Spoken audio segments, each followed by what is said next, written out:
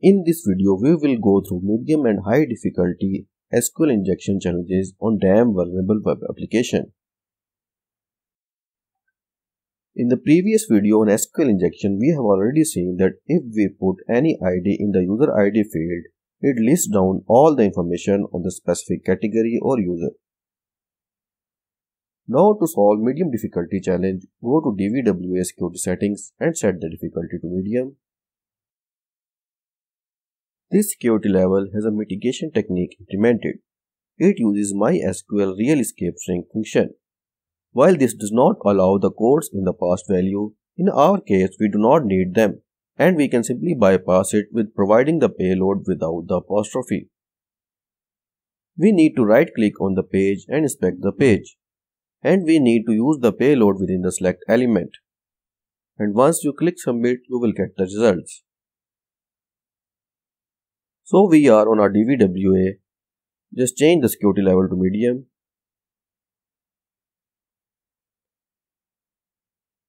Now move to the SQL injection challenges. And here you can see that we can only select user IDs from the drop down list. And if we submit any user ID, we get its information. Now right click on the page and inspect the page. Navigate to the user ID drop down menu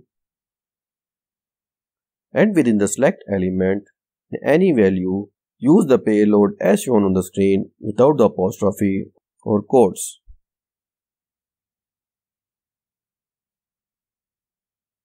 And you can see that information of all users is dumped out. Now for high difficulty, go to DVWA security settings and set the difficulty to high.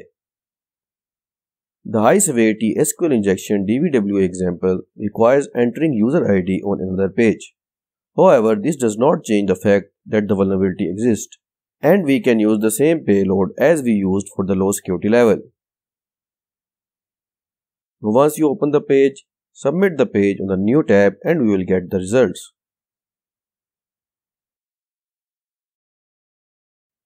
So back on DVWA, set the security level to high and move to SQL injection tab. Once you click change your ID link, a new tab will open. Once you provide the session IDs here, you will get the information displayed in the previous tab.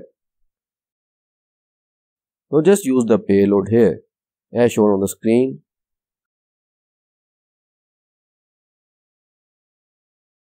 and click on submit. And the information is dumped on the main tab.